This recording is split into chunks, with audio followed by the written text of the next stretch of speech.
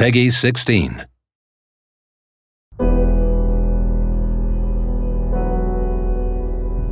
In Flanders fields the poppies blow.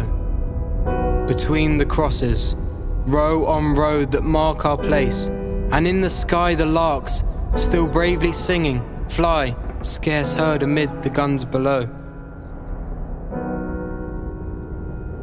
We are the dead.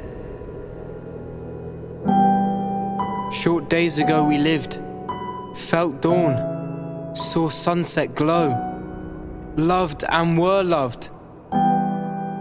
And now we lie in Flanders fields,